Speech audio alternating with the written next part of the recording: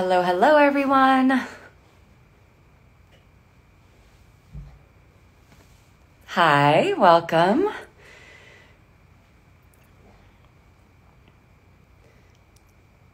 Just waiting for this all to load and a few of you to join.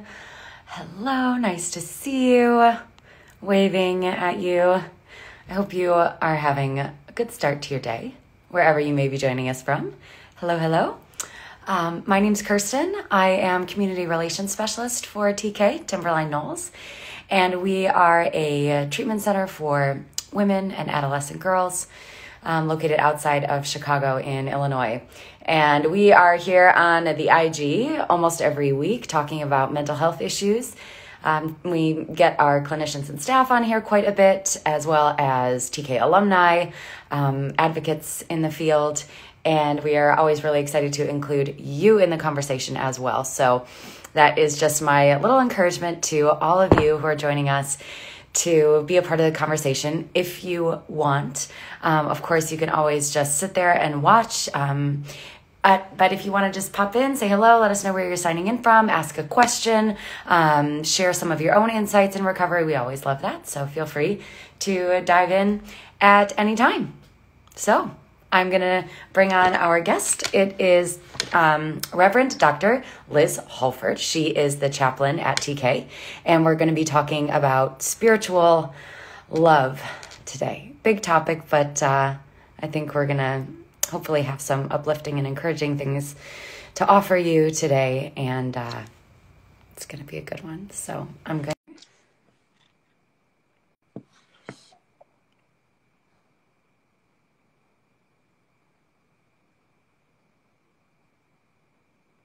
Hello. Hello. Hey. Good to see you. good, good to see you too. Did I say it right? Is it Reverend Doctor or is it Doctor Reverend?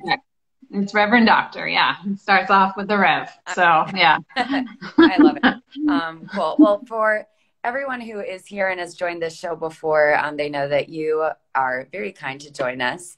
Um, a couple times a year, you've been on almost once a month. Anyway, you're a frequent guest.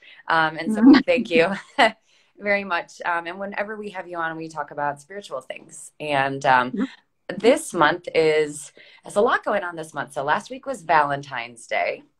And mm-hmm. then this week is National Eating Disorders Awareness Week, um, which obviously there's a lot of conversation about self love and body love and all of these things. Love is a big topic. And uh, so I wanted to get you on to to talk about spiritual love because I think it can be talked about a lot, but a very abstract concept as well for people to understand. So, first of all, how does spiritual love, whether as a part of a faith journey or not, how is that different from like self love or body love? So, when we talk about spiritual things, we're talking about how we are interconnected with one another, with the world around us, meaning nature, creation, and also how we are connected to ourselves and to our higher powers, right? So, spirituality is about this connection that happens that um, may be understood in terms of religious connection, but it also may be understood in terms of the spiritual world outside of religion. So a lot of times people have in their minds that spirituality and religion are the same thing. Uh, we discussed this at uh, in one of our spirituality groups on campus, and uh, if people have a positive understanding of religion, they're more likely to see spirituality and religion as the same thing. If they have a negative understanding of religion, they're more likely to see it as a separate thing.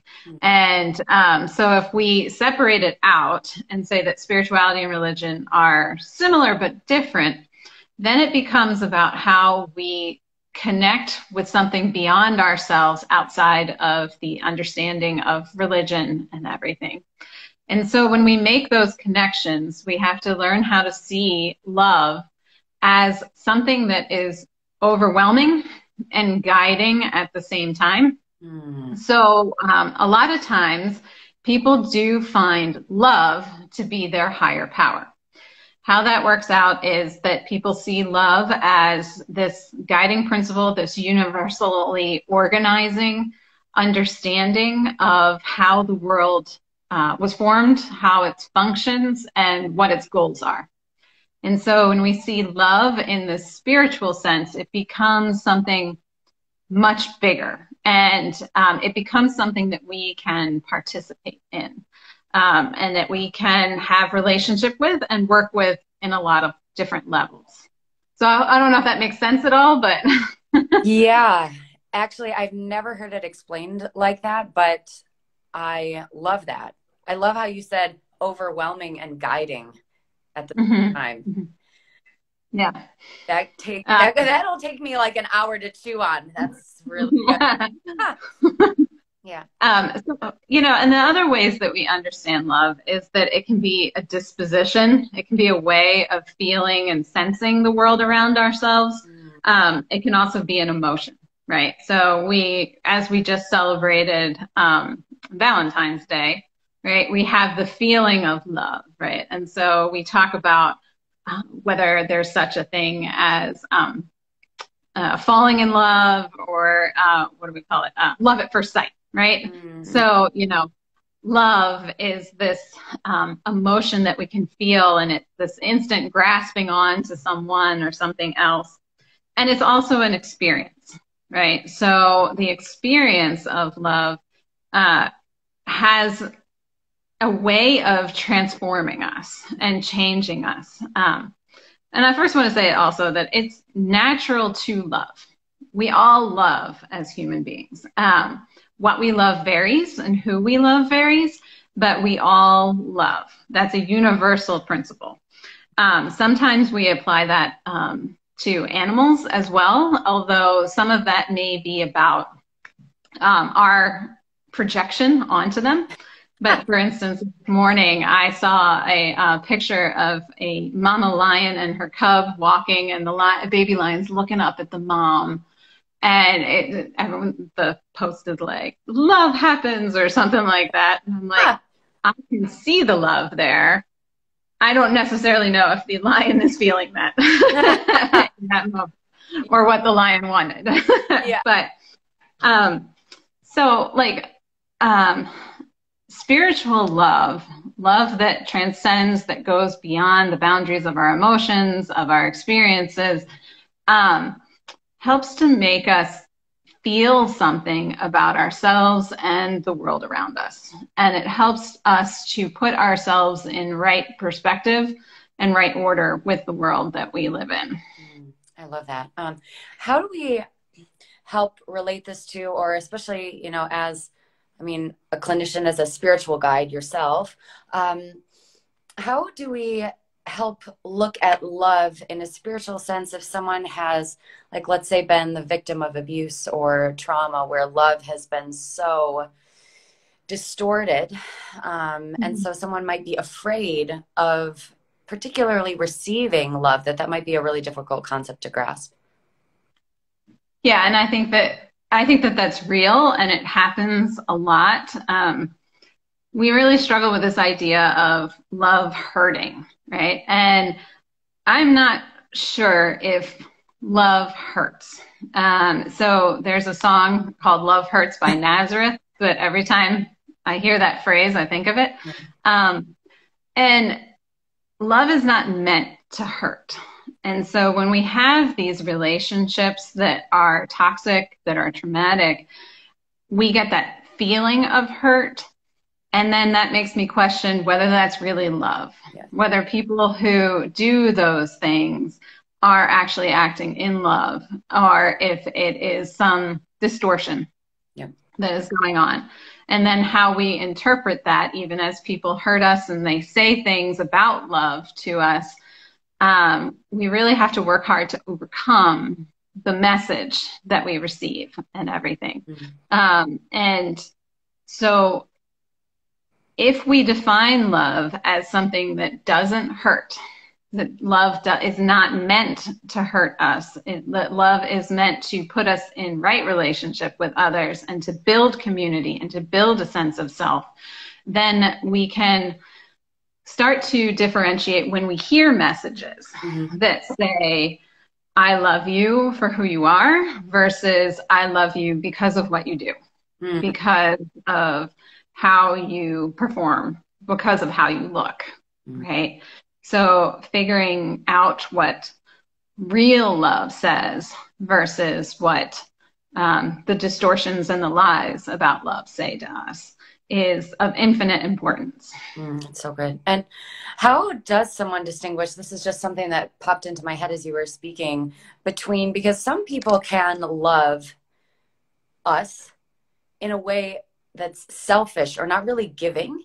And so it might feel like love in the moment, but it's really not. And this is outside of the more traumatic or abusive mm-hmm. of love. But how, but we all crave feeling loved. So it might mm-hmm. feel good. How do we distinguish with others relationships that we might be in between a healthy kind of love that we're receiving um, versus something that is truly self-sacrificing love right um, so i think it takes time and awareness of what it is that we actually need and want right so love is about desire on some level, right? The desire to be seen, the desire to be heard, the desire to be known for who we really are, right? Overcoming shame yep. in that way. And um, it is true that we all have different love languages, right? That get like Gary Chapman teaches in his book, right? That there are always different ways that we receive love and that we give it back, right? And so when we're in relationship with someone else, it's important to recognize when um, uh, when we're experiencing something that we need versus something that the other person needs to give themselves and everything.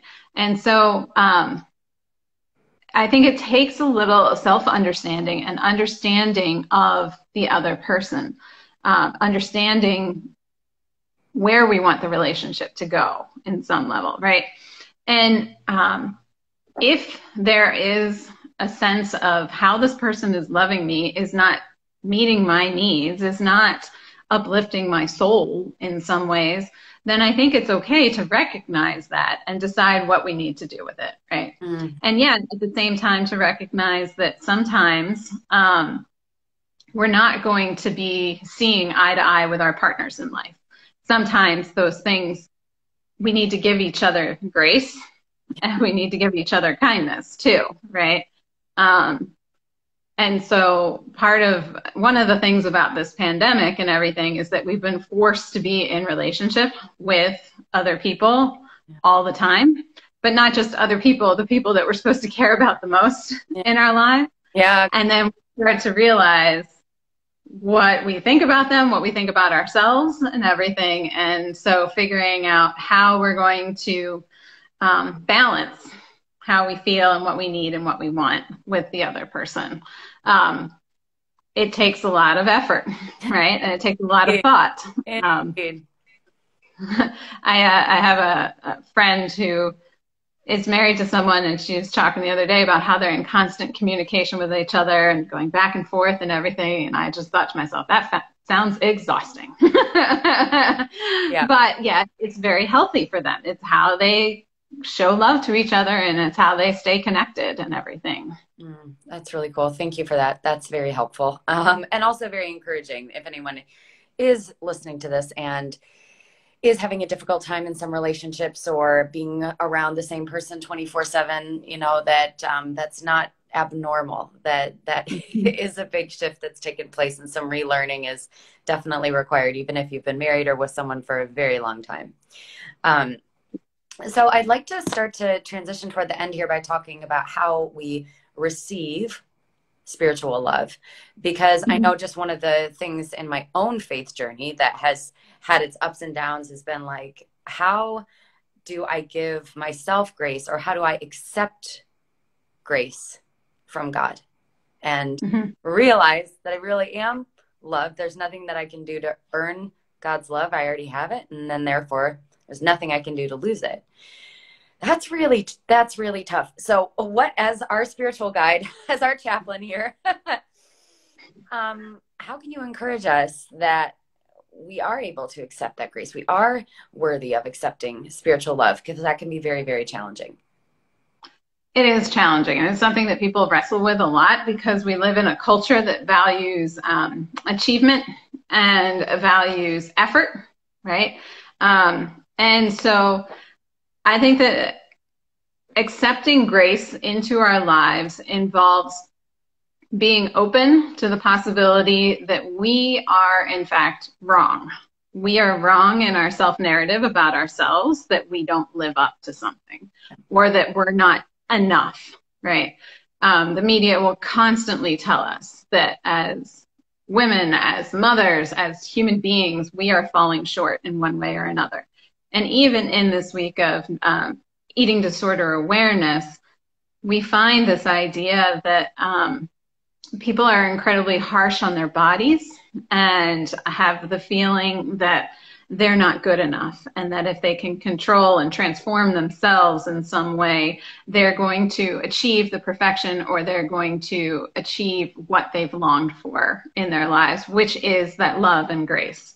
Um, and yet recognizing that the love of God is a given. It's there in, I mean, and speaking in Christian terms specifically, it's there in the creation story. It's why God created. And that's one of the beautiful things about the creation story in Christianity, even as we argue about literalism and everything, the underlying message that God would create and not just create for his own selfish reasons, but create for love, right? Mm-hmm. The whole garden is a place of love, of connection, of um, meaning and purpose to be with one another, right? Yeah. Um, and that transcends throughout all of Scripture the idea that we are loved for who we are, not because we can achieve, because in reality, we can't achieve. We can't do it. We're never going to make it.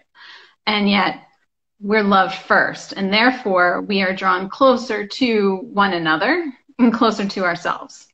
Um, so, love and grace go hand in hand. If we have grace, then we have love. If we have love, then we have grace. And then we even have mercy, right? Recognizing that we're not deserving of what we have and yet appreciating it and loving it um, as we live into it and as we experience it in our lives. Um, so there's this, uh, I mean, like, so there's this, um, this image that I really love that always helps me to feel this connection to love is the idea it comes from these people called the desert fathers who lived around the fourth century in places like Egypt and Ethiopia and in Gaza and places like that who were monastic people who would go out into the desert and live um, these simple lives and everything. But one image that comes up is this idea that of a wheel and so the, at the center of the wheel is God, and going out from the wheel are um, spokes that lead out to the outer rim. And so if we imagine ourselves as on that rim, as we journey through life on those spokes towards the center, we get closer to one another and we get closer to God. Ah. So this journey of life, this journey of love is about coming closer to one another as we get closer to God as well. That is cool. That is a really great image. Um, I, I love that. Um, so many good things. Just one thing I want to highlight, underline, circle that you said is being open to the possibility that you are wrong about the narrative that you that you have about yourself and i just love that because the for anyone else who struggled with the voice of self-criticism or self-judgment and if anyone is was brought up in a very strict religious tradition that that that may be a part of that that it can be say well i can't just snap my fingers and be like oh okay i accept grace you know mm-hmm. but it can start with opening the door of possibility that that might be even just the first step to question okay I could be wrong about this, and that starts a process that can lead to a greater acceptance. Mm-hmm. Yeah, that question of what if? What if I am wrong? And what if that story of me being loved is actually right? Or what if there's more to what I see and experience than what I'm seeing and experiencing in this moment, right? And um, curiosity, uh, you know, we have that phrase, curiosity killed the cat, and yet curiosity is the thing that helps us to grow. It's the thing that helps us to wonder. And um, when we wonder, we're able to find answers, we're able to find the right questions that lead us into these places of freedom, of experience, freedom of connection, and love itself right? Because it's this openness that's available to us all. Mm, that's so cool. Um, that's such a wonderful place to end. that I had a, mm-hmm. one or two other questions for you, but that is a really nice way, and I think something really lovely to leave people with. Lovely, no. Mm-hmm. Um, so Liz, just last question I'll ask you: How are things on campus? And um, my classic end of interview question: What is bringing you joy right now? Uh, things are good on campus. Um, we uh, survived the Omicron season, so uh, yes. Um, and uh, we have some new therapists joining us and everything, and um, we're really working hard to strengthen the program, strengthen the healing that happens, and to help people live their meaningful lives. And so that's a wonderful thing. Things are going well for campus. Awesome. Um, and then uh, in my life, what's giving me joy is um, we've been planning our spring break trip to Hawaii. So that's a fun time for the family and everything. So, wow. yeah. oh, that's awesome. Are you going in March? April? When yes. break? March? March. End of March, yeah. So uh, just looking forward to being on a beach and a pretty beach and everything. And yeah, getting outdoors and enjoying some warmth. Also, uh, there's 26 days till spring. So that's a blessing. awesome. yeah. Thank you for giving us the countdown. Thank you so much, Liz. I really appreciate your thoughts and your wisdom on this and guiding us very articulately through a very deep and challenging topic. So thank you so much thank you so much for having me and thank you for um, you know thinking about love. And i hope that everyone listening and everything feels a sense of pure love for themselves and for the people in their lives and for their higher power. Mm. amen sister. Cool. All right. Well happy national eating disorders awareness week to all of you out there who are in recovery have recovered are pursuing recovery. As just my little psa for this week i want to encourage you if you are thinking about getting treatment, calling someone, reaching out for help, this is your sign. Do it. You are worth it. Recovery is worth it. And full recovery is possible. There is hope, and you are not alone. So, if someone else in your life needs to hear this message, please send them this video. That's why we do this. Um, but we love you. We're here for you at Timberline Knolls, but just reach out for help. You're worthy of it. You deserve it, and full recovery is possible. Okay. All right. wishing you a wonderful rest of your day, Liz. Bye. And bye. And thank you. Bye.